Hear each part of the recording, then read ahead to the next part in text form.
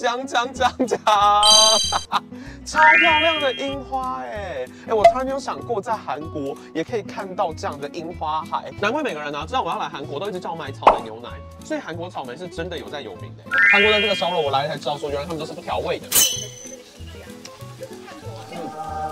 人间天堂。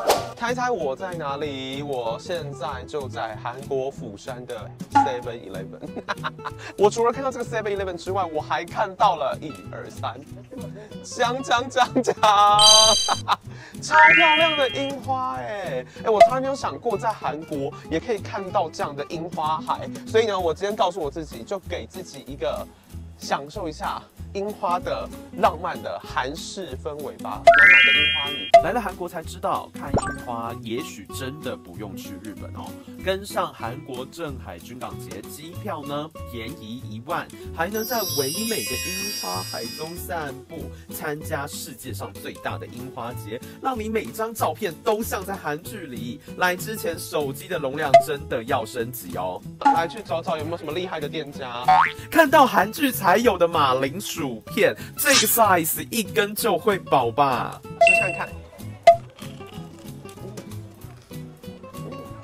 嗯，哎，它上面那个起芝士粉是那个多利多汁上面的芝士粉哎。那马铃薯炸的有一点点干，不过蛮酥的，我觉得是一个蛮好吃的甜点。五千韩元一串，难怪每个人呢知道我要来韩国都一直叫我买草莓牛奶，所以韩国草莓是真的有在有名的。我要来喝了，好哎，草莓超级新鲜，就像是我们去草莓园现摘的那种草莓一样。来吃个。它的这个饼皮啊，比较松软一点，吃起来比较像是松饼的口感。然后这个奶油感觉是用那种现挤的打发奶油去挤出来的。吃完甜点，心满意足的继续赏樱花，结果看到更多美食。哎，这条街上有各种摊位，我可以沿路逛，边吃边喝。虽然是来看樱花，但也不能忘记我这个吃货的真实身份。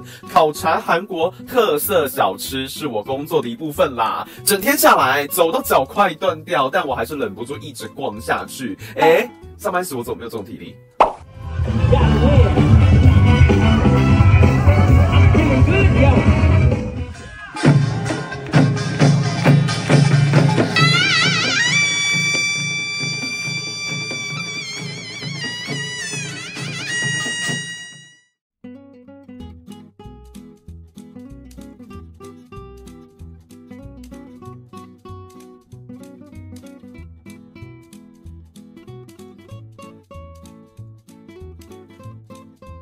终于呢，到了韩国第二天的第二个晚上，吃到了所有韩剧里面大家都心心念念的烤肉啦。韩国的这个烧肉，我来才知道说，原来他们都是不调味的。然后就是现场会给你超多寿司像是有这种味增啊，有辣椒蒜头，然后或者是给你洋葱，还有这个泡菜跟豆芽菜，你可以夹着吃。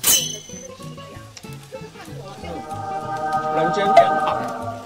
他们家有直接做好的套餐，然后有很多不同种的部位，像如果你想再单点五花、猪颈肉啊，都可以点。特别讲一下这个生菜，要看它其貌不扬，我觉得超级好吃的哎。然后它裹那个辣酱啊，就刚刚好，辣酱不会太辣，然后也是很新鲜。好，接下来喝这个汤，我跟你讲，汤很辣，但是很爽快。来喝刚刚小哥哥推荐的韩国最有名的烧酒，蛮好喝的。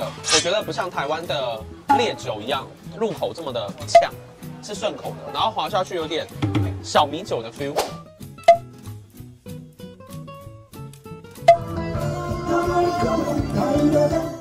到韩国第二天，看了整天的樱花，又吃到正宗韩式烧肉。这一次出国最大的愿望，竟然在第二天就圆满了。不得不说，韩国樱花季我真的是大推，CP 值呢看起来比日本高很多。今年错过的朋友，拜托明年手刀定起来，不要犹豫，直接机票刷下去，保证不会后悔。韩国自由行只剩下最后两天，你有推荐的韩国景点，也一定要留言让我知道。我们下次影片见，拜拜。